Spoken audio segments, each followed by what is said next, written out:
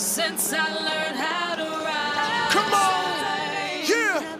I've been on That's the ride.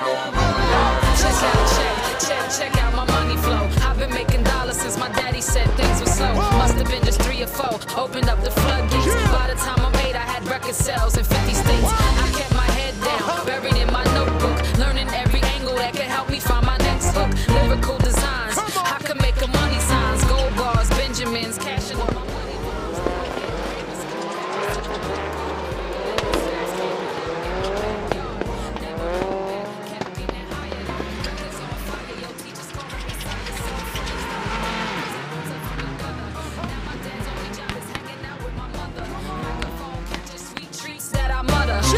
Throw it down cause I